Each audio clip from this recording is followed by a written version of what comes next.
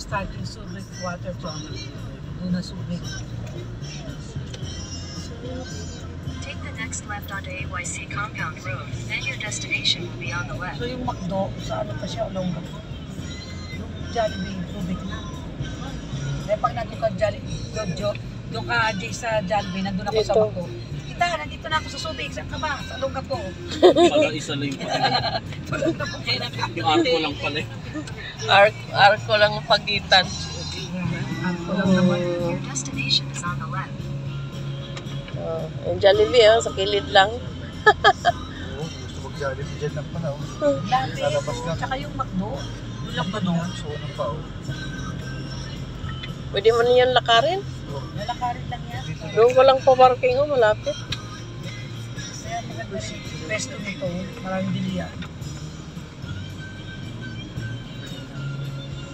Ko, Manuel, kanina yung dito. dito tayo- Violet tayo- yung bahay natin.